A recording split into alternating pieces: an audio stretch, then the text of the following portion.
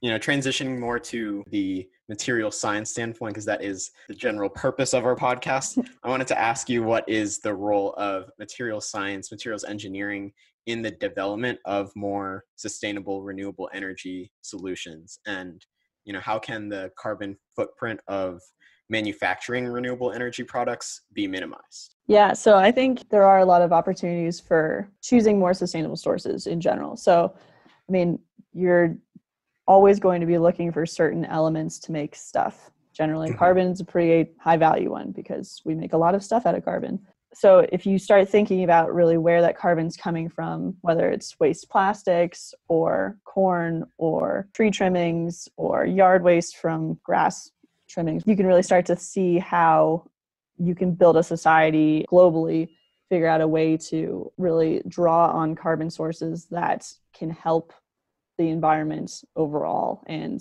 people overall there's a lot of different things in sustainability that people don't always think about, like human rights and water rights, labor rights, different social metrics that people don't always think about when they're thinking about sustainability. But if you start really looking towards a sustainable way to produce whatever it is you're producing, you can find really good solutions and you can fix solutions that may or may not have been the most sustainable. So I think as we draw on more new ideas of whether it's producing batteries from whatever new thing we think of in 10 years or even hydrogen and such production we need to figure out how to do that sustainably so that you're not just ruining the environment that you're trying to fix already with this technology you're talking about. So you can stop me if I'm not making sense whatsoever, but I was reading about the 80 20 rule. It's very, very general, but basically the premise is that 80% of the output is a result of only 20% of the input.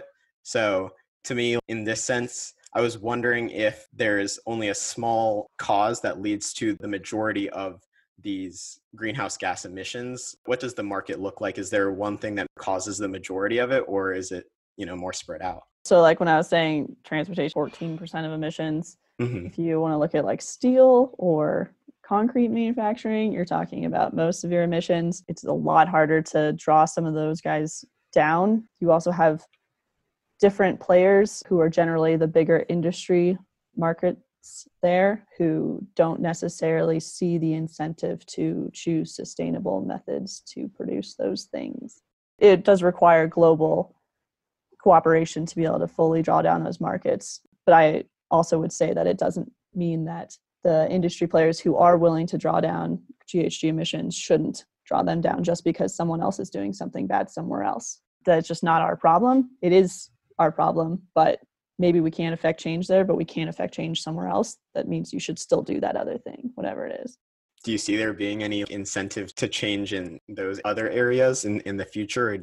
How can we make an impact in from the steel production side? Yeah, it can be a little rough. Um, um, but there are players who are really starting to think of ways to help reduce GHG emissions there. There's one interesting fuel producer called LanzaTech who can use waste gas from like steel production to produce fuels. So even though those steel mills are not great things to be having going on, at least if you can pull the gases off that are coming from those mills, you're not allowing them to do as bad as they could do. That is a good thing. And For generally, sure. I don't think we're going to shut down all those steel mills. So Cool. Yeah. Very resourceful.